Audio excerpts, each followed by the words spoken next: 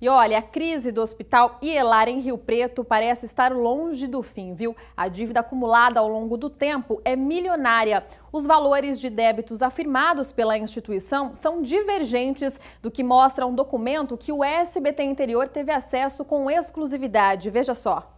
Com mais de 50 anos de fundação e uma média de 200 atendimentos por dia, o Hospital Ielar de Rio Preto está com uma dívida milionária. A dívida global da, da, da instituição é em torno de 50 milhões. Mas o valor seria bem maior.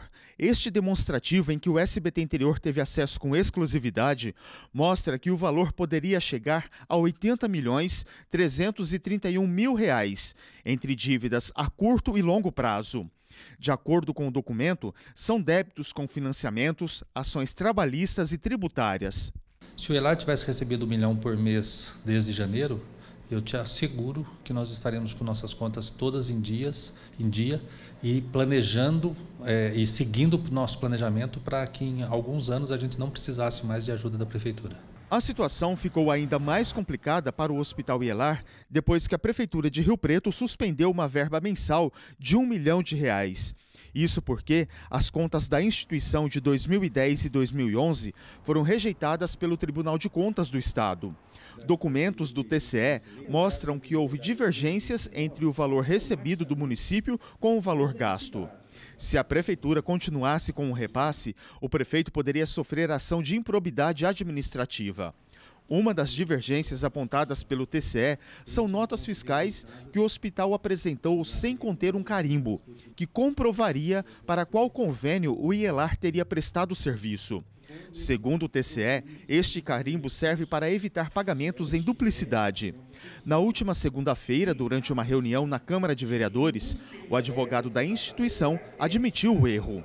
Esse carimbo não foi feito, foi falha, mas só para explicar, essa falha que é sim do hospital inicialmente, naquele ano de 2010, 2011, o IELAR não fez essa até é, não, não fez da forma correta, não bateu o carimbo e a exigência da Secretaria de Saúde, a, a, quem cuidava dessa prestação não exigiu. Então, quando o Tribunal de Contas repreende, está repreendendo inclusive o fiscalizador da parte da prefeitura. Não é só um erro formal do IELAR, é um erro da própria prefeitura. Com o corte da subvenção da prefeitura de Rio Preto, o hospital deixou de atender a população no último dia 29.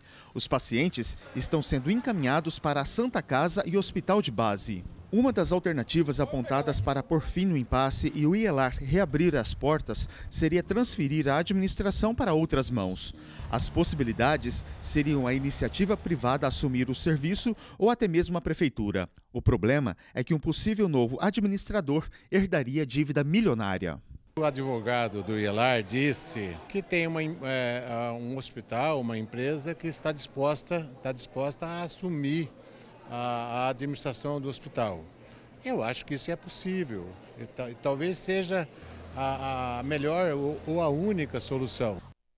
A administração do Hospital Ielar reafirmou que a dívida da instituição é de 50 milhões de reais. Já em relação à falta de carimbo nas notas fiscais, em que o Ielar afirma que o erro também foi da prefeitura, o executivo informou que a responsabilidade sobre a prestação de contas é do Ielar.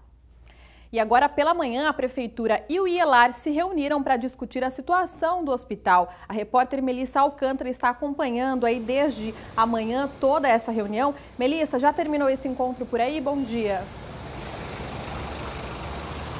Olá, Jéssica, muito bom dia a você, bom dia a todos que nos acompanham então. A reunião, como você disse, começou cedinho por volta das 10 horas da manhã e ainda não terminou não. Está acontecendo no gabinete do prefeito, onde o Edinho Araújo, junto com um grupo de secretários, está ali o secretário de Planejamento, de Finanças, de Saúde, receberam os responsáveis pelo IELAR para terem uma conversa, tentarem chegar a uma solução, a uma definição sobre o que vai acontecer daqui para frente em relação ao ao hospital em relação aos projetos sociais e educacionais mantidos pelo IELAR. E esse encontro, Jéssica, era uma vontade antiga dos responsáveis pelo IELAR, desde que começou toda essa polêmica. Eles diziam que sentiam falta de um canal de comunicação com a prefeitura para expor o lado deles, para explicar a situação e tentar propor alternativas e uma solução para todo esse problema que, afinal de contas, afeta a população, que de depende do hospital, depende dos projetos sociais,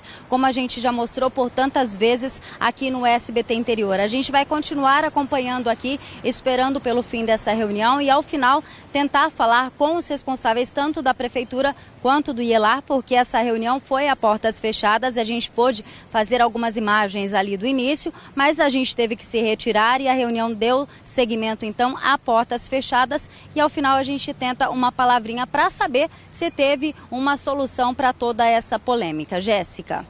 Tá certo, Melissa. Obrigada pelas informações. Continue por aí. Qualquer informação a qualquer momento durante o jornal pode chamar a gente, tá? Obrigada.